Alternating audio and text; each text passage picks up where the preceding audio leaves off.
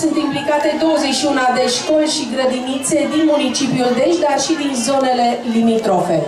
Salutăm prezența în mijlocul nostru a domnului primar și în deschidere îi dăm cuvântul. Stimați invitați, domnilor și domnilor consilieri locali, stimate cadre didactice, dragi elevi, părinți și buniți, stimați reprezentanți ai presei.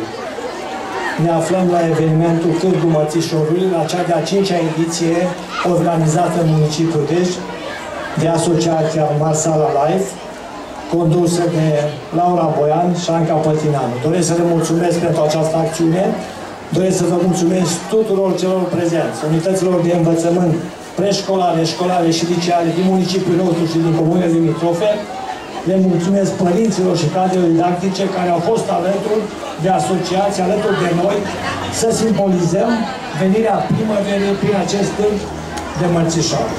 Iată de ce este simbolul frumosului, simbolul naturii, simbolizează tot ce este frumos din sufletul și viața noastră.